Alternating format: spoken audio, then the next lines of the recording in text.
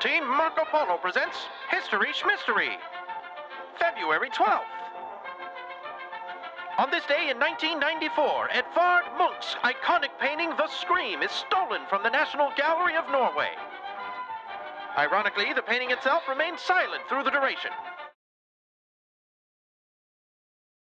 That's this day in History Schmistory.